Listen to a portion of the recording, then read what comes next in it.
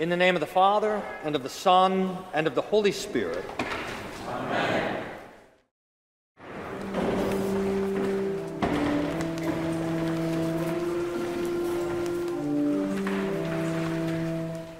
Your name, O Lord, endures forever. Your renown, O Lord, throughout all ages.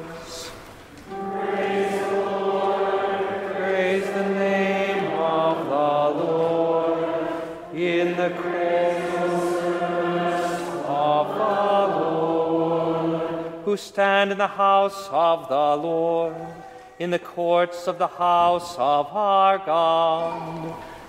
Praise the Lord, for the Lord is good. Sing to his name, for it is pleasant.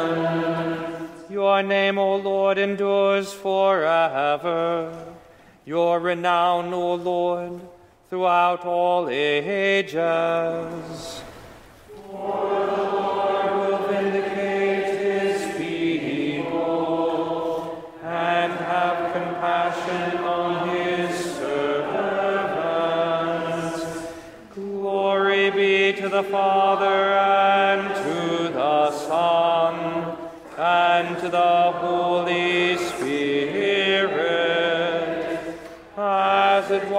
in the beginning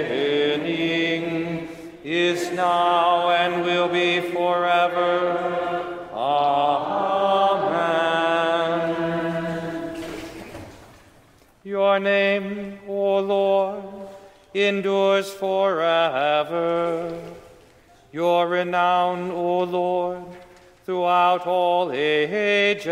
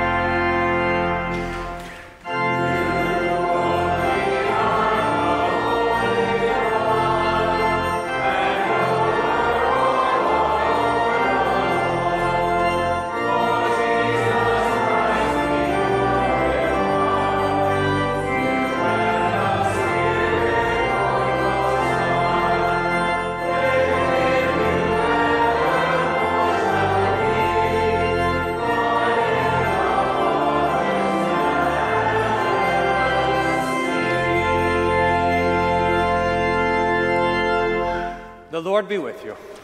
With you. Let us pray.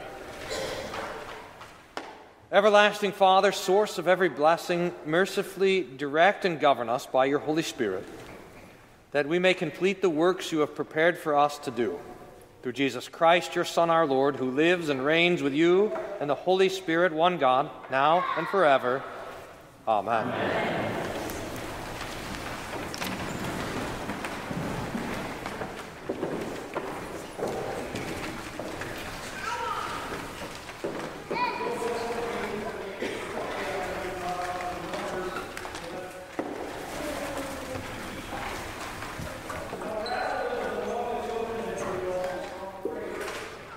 And the people of Israel also wept again and said, Oh, that we had meat to eat.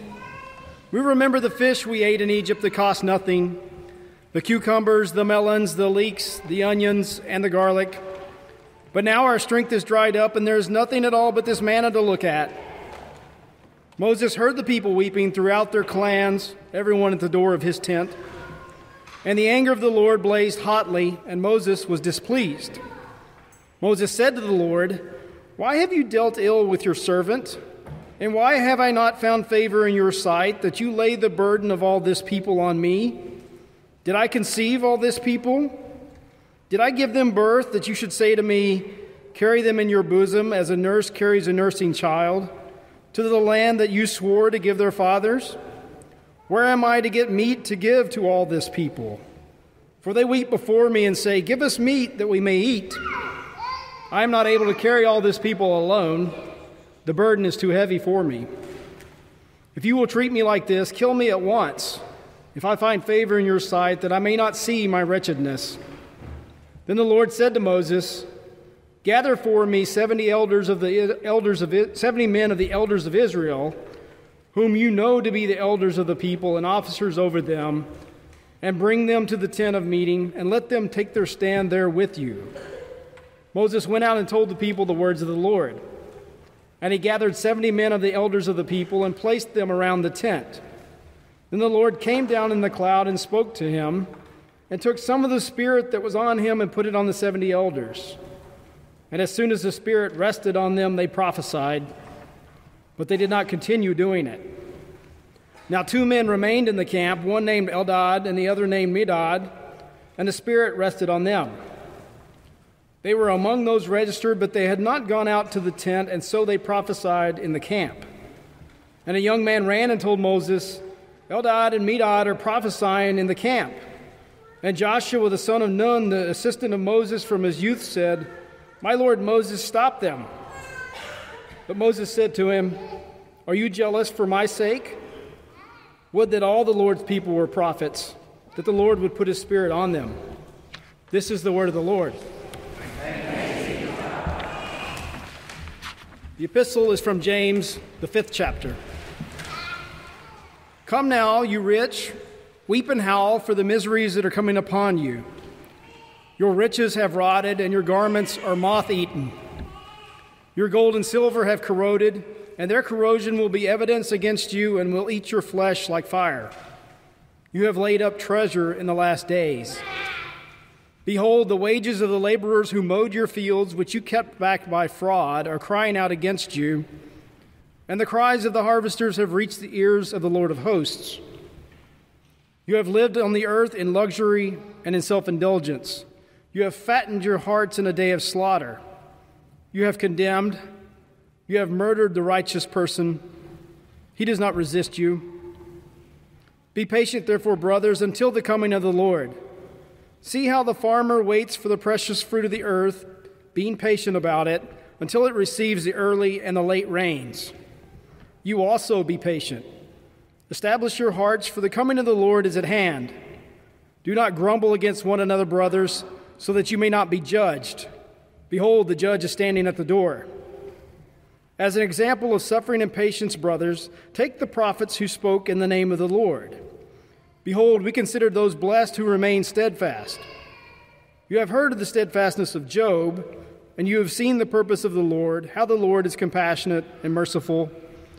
But above all, my brothers, do not swear, either by heaven or by earth or by any other oath, but let your yes be yes and your no be no, so that you may not fall under condemnation. Is anyone among you suffering? Let him pray. Is anyone cheerful? Let him sing praise. Is anyone among you sick? Let him call for the elders of the church and let them pray over him, anointing him with oil in the name of the Lord. And the prayer of faith will save the one who is sick, and the Lord will raise him up. And if he has committed sins, he will be forgiven. Therefore, confess your sins to one another and pray for one another that you may be healed. The prayer of a righteous person has great power as it is working. Elijah was a man with a nature like ours, and he prayed fervently that it might not rain, and for three years and six months it did not rain on the earth. Then he prayed again, and heaven gave rain, and the earth bore its fruit. My brothers, if anyone among you wanders from the truth and someone brings him back, let him know that whoever brings back a sinner from his wandering will save his soul from death and will cover a multitude of sins. This is the word of the Lord.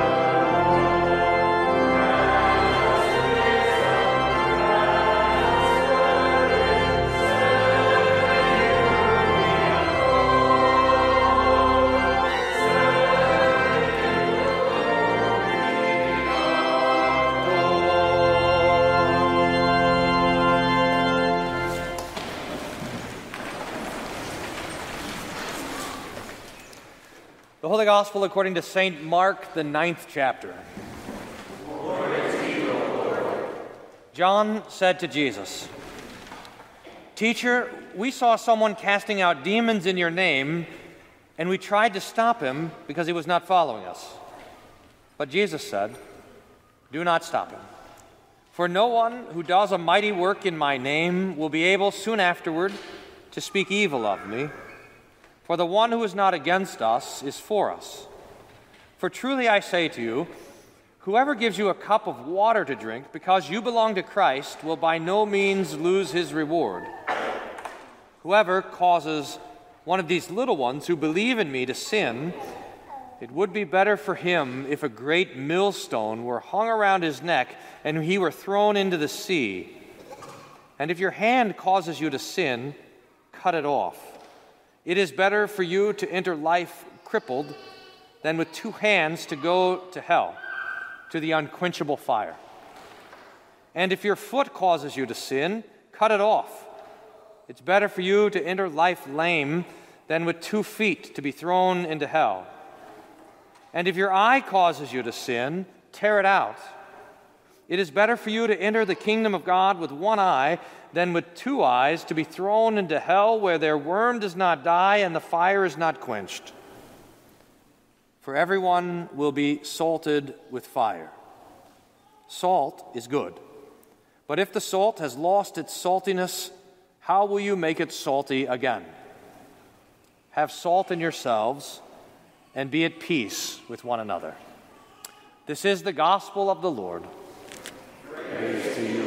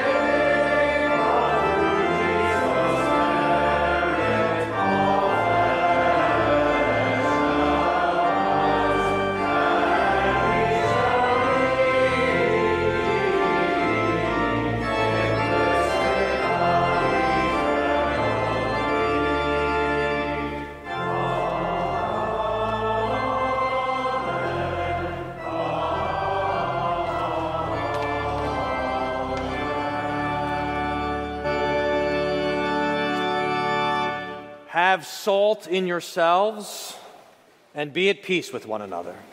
You may be seated.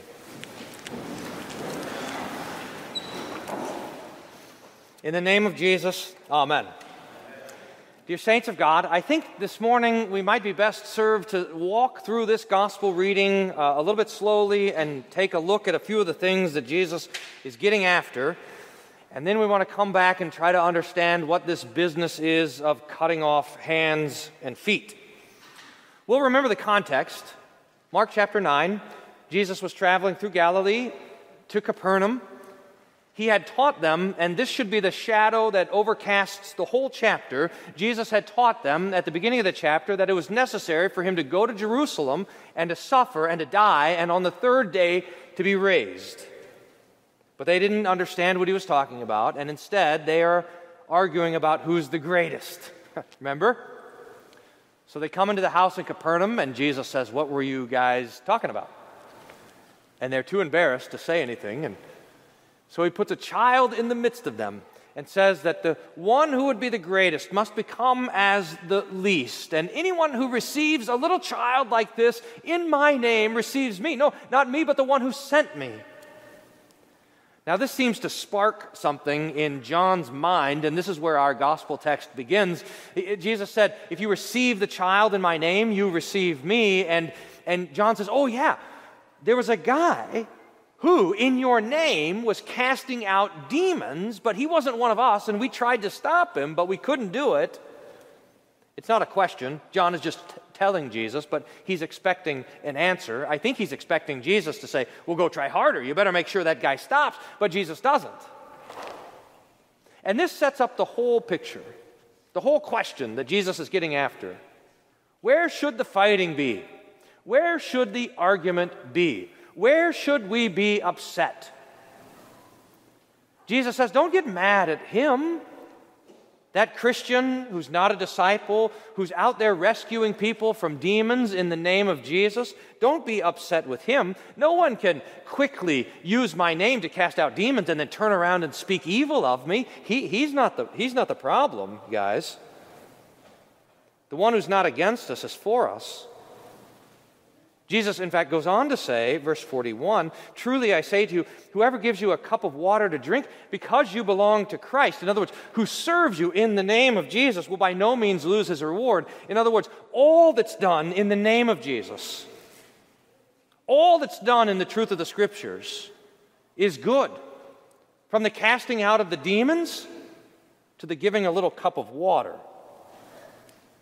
But if you want to find someone to be upset with, if you want to find someone to go and stop what they're doing, Jesus says, This is what you got to look out for. Look at verse 42. Whoever causes one of these little ones who believe in me to sin, it would be better for him if a millstone were hung around his neck and he were thrown into the sea.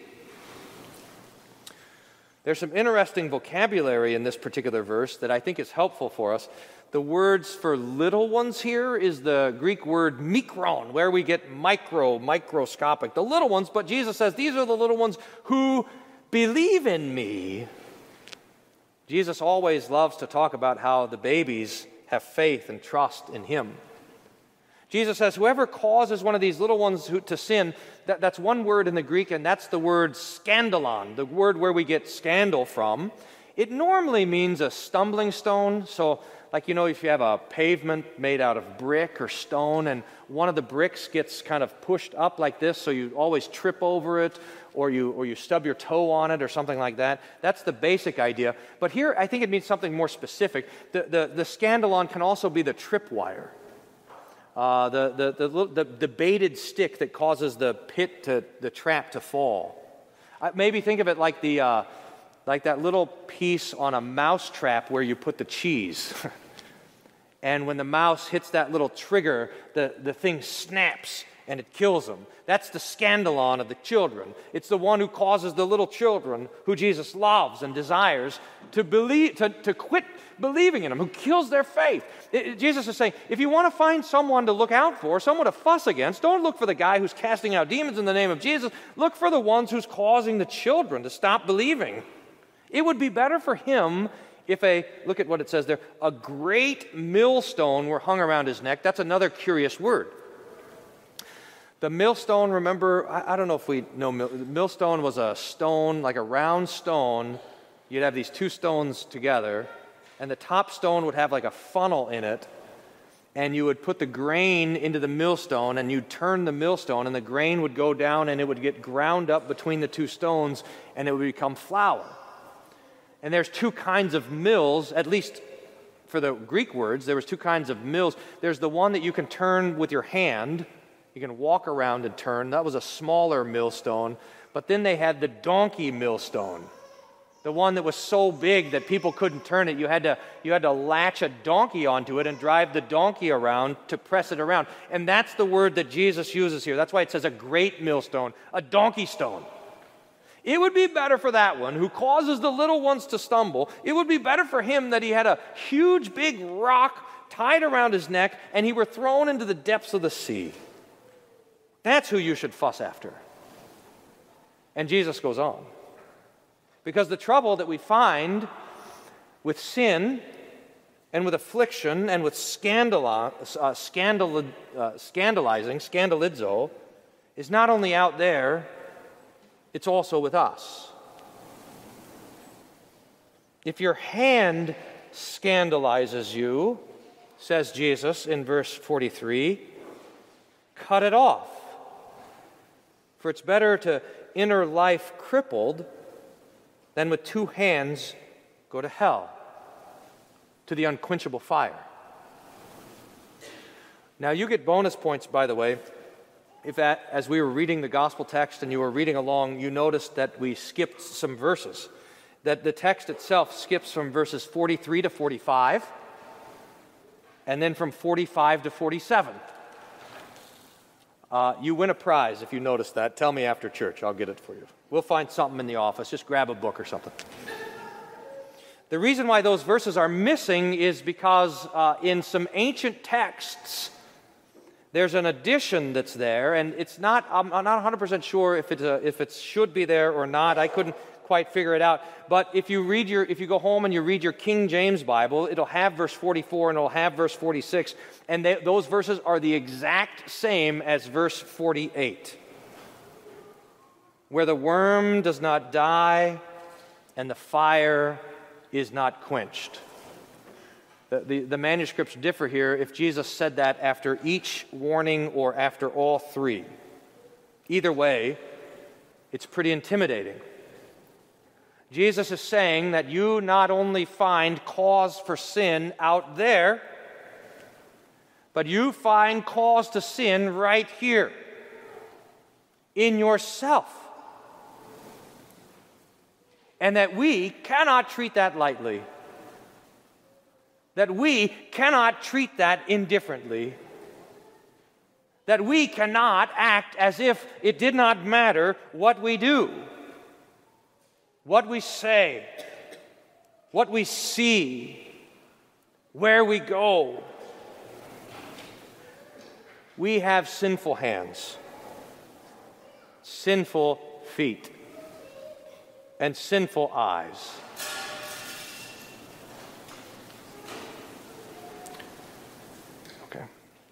Let us pray. O oh Lord, we pray for your son, Ray, that you would visit him and keep him and uphold him with your care.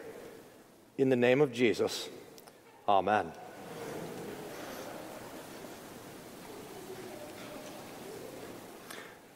Jesus does not want the disciples to think that the cause of sin is even this far away from them. In other words, we might be able to say, Well, I sinned, but it was my hand that caused me to do it. Or I sinned, but it was my foot that caused me to do it. Or I sinned, but it was my eye that caused me to do it. Jesus says, No, that won't even work. Because if it was your hand, then cut it off. If it was your eye, then poke it out. If it was your foot, then chop it off and throw it away to be saved.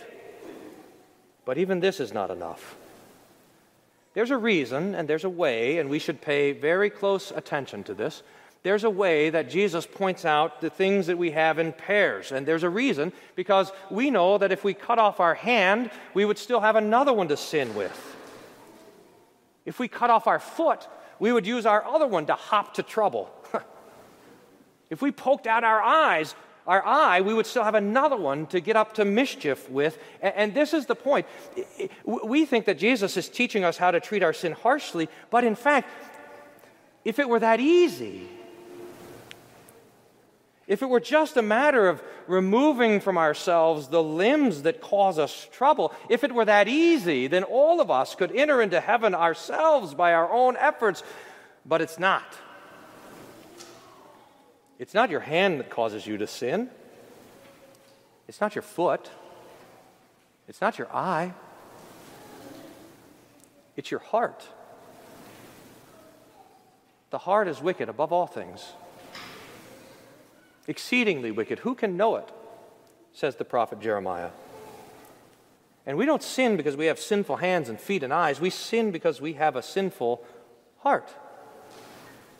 And we need a new one.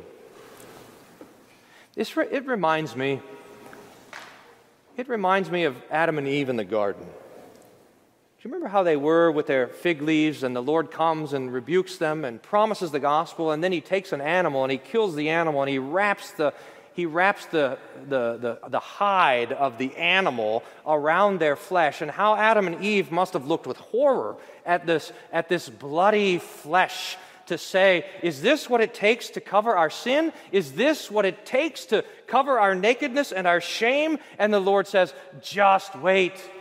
It's even worse. Because it's not the, the death of the bulls and the goats and the animals, but the very death of the Son of God. I think this is what Jesus is talking about with the whole salt business. Salt is good, he says, but if salt has lost its saltiness, how will you make it salty again? Have salt in yourself. There's a, a, very strange instruction that Moses gave to the priests in Leviticus, and it was that every sacrifice should be salted. The lamb before it was burned and the bull before it was burned would have salt rubbed over them. And the question is why? Salt in the ancient world was used as a preservative, it was used to store meat. They didn't have refrigerators and freezers and all that sort of stuff. So you would salt the meat if you wanted to last, but you would never salt the meat right before you put it on the sacrifice. It didn't need it. So, why? Why would they have the salt for the sacrifice? The, my best guess is that the Lord wanted to show that this sacrifice is the sacrifice that preserves us that keeps us, that brings us through death to life eternal. This salt is the gospel of our Lord Jesus Christ, which keeps us through sin and trouble and brings us to life everlasting.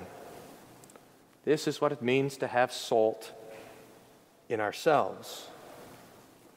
Because it is not possible to escape sin by cutting off our hands, but rather, we find perfection in the hands that were nailed to the cross. It's not a matter of cutting off our own feet, but of looking to the feet that bled and died for us on the cross. It's not a matter of tearing at our eyes, but looking to the face of Him who looks on sinners like you and me and instead of seeing us with wrath, sees us with pity and mercy and kindness and love. In Christ and in Christ alone are we preserved from death to life eternal. And you have this salt in yourself. Jesus is pointing out to the disciples that he will die and rise again to bring us to life eternal. And with that confidence and with that peace, we live and we die. In the name of Jesus, amen. and the peace of God, which passes all understanding, guard your hearts and minds through Jesus Christ our Lord. Amen. You may stand or kneel for prayer. O Lord, be with us in life and in death, in peace and in trouble, in light and in dark, in sickness and in being well, that we would rejoice at all times in your presence and in your promises. Grant to us by your word of life to rejoice in the forgiveness of all of our sins. Keep us in Jesus' name that we would delight in your gifts, that we would find joy uh, in your promises, that we would be wise and courageous to face the days that you set before us.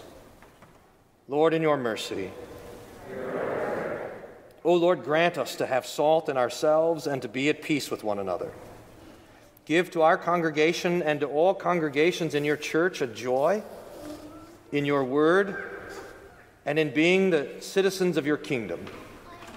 We pray, O Lord, that you would grant wisdom and courage to all who are elected and appointed to, uh, to rule in our congregation, especially our council, David, Jim, Mike, and Karen, our elders, Troy, Greg, Jeff, Robert, Richard, Evan, Paul, Gary, Joshua, Patrick, Tommy, Aaron, and Dale our Board of Finance, Roland, Ryan, Doug, Greg, Dennis, Peter, James, and our trustees, Stan, Gary, Daniel, Michael, Mac, Tim.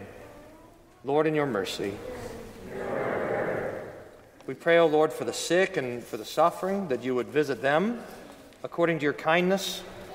We thank you, O oh Lord, that you've set before us this day the body and blood of your Son, our Lord Jesus Christ. And we pray that all who come to this, your altar, would come with repentant joy and peace. Lord, in your mercy. For these things, O Lord, and for all other things you would have us ask, grant to us not for your own sake, for our own sake, but for the sake and in the name of your Son, Jesus Christ, who suffered all to call us your children. For we ask all these things through him who lives and reigns with you and the Holy Spirit, one God, world without end. Amen. Our Father, who art in heaven, hallowed be thy name. Thy kingdom come, thy will be done on earth as it is in heaven. Give us this day our daily bread and forgive us our trespasses, as we forgive those who trespass against us. And lead us not into temptation, but deliver us from evil. For thine is the kingdom, and the power, and the glory, forever and ever. Let us bless the Lord. The Lord bless you and keep you. The Lord make his face shine upon you and be gracious unto you. The Lord lift up his countenance upon you and give you peace. Amen. Amen.